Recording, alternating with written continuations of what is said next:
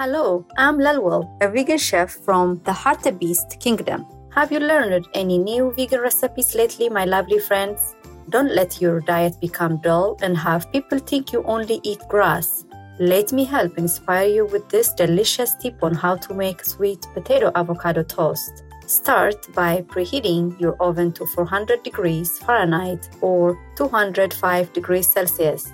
Then peel a sweet potato and cut it into long flat pieces, approximately half an inch or 1.25 centimeters thick. These will serve as your toast. Next, bake your sweet potato for 20 minutes. Then cut up some cucumber slices and mash up an avocado to put on your toast.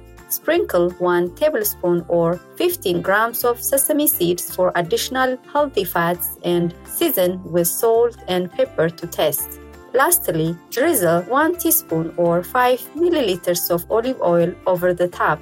Oh la la and bon appetit! Love you for being veg and going green to save the planet for all humans and us all co inhabitants. Thank you for watching. Vegan side effect? Believe that angels exist to protect vegans.